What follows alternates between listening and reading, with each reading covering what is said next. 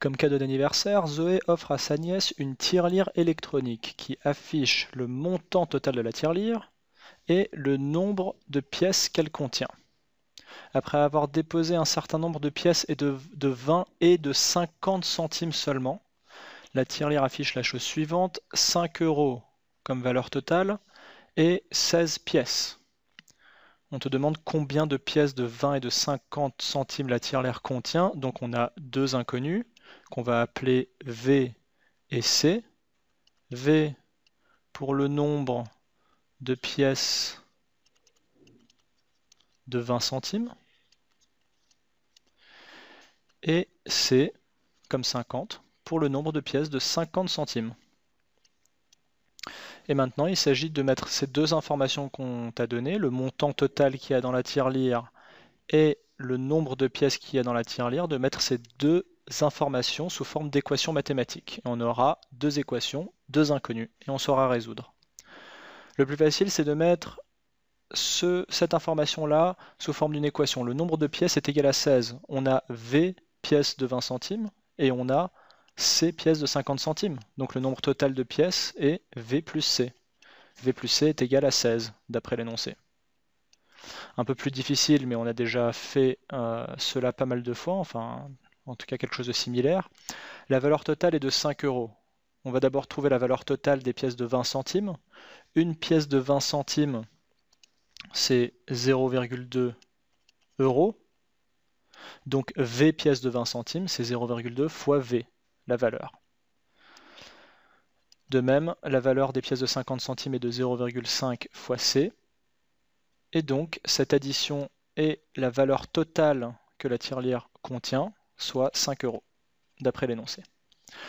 Voilà, on a notre système, deux équations, deux inconnus, et c'est assez facile de résoudre par substitution car on peut facilement mettre une variable en fonction d'une autre. Par exemple, C en fonction de V. Si ici je fais la soustraction de V des deux côtés de l'équation, j'obtiens C est égal à 16 moins V. Et maintenant, j'ai une expression de C en fonction de V. Je sais que C est égal à 16 moins V. Donc ici, au lieu d'écrire C, je peux substituer par 16 moins V. C'est la méthode par substitution. Donc on va réécrire cette équation jaune sachant que C égale 16 moins V, et on aura une équation où la seule inconnue sera V on obtient 0,2V plus 0,5 fois C, mais C est égal à 16 moins V, donc on va écrire ça. Le tout est égal à 5. Et voilà, j'ai une équation avec une inconnue. Je, vais pouvoir trouver V maintenant.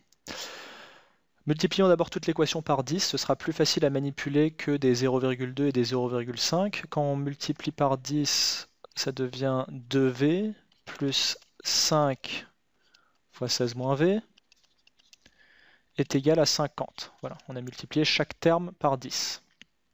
À gauche, qu'est-ce qu'on a en tout avec les V? On a 2V ici, et on a moins 5V. 2V moins 5V, ça fait moins 3V. Moins 3V. Ici, on a 5 fois 16, 6 fois 5, 30, plus 50, ça fait 80. Plus 80 est égal à 50. En soustrayant 80 des deux côtés, on obtient moins 3V est égal à 50 moins 80, donc moins 30. C'est-à-dire que V est égal à moins 30 sur 3, euh, moins 30 sur moins 3, pardon.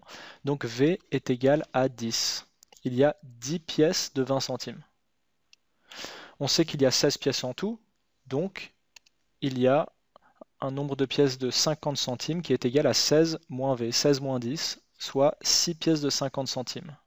Voilà, on a bien 16 pièces, 10 plus 6, donc 16 pièces dans la tirelire. Est-ce qu'on a bien une valeur de 5 euros dans la tirelire? Voyons voir, on a 10 pièces de 20, 10 pièces de 20 centimes, ça fait 2 euros.